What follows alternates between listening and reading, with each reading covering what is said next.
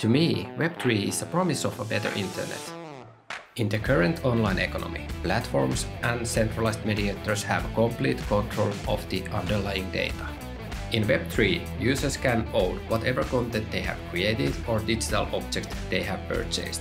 It can be really difficult to change this existing way of thinking, but that is what makes Web3 so exciting.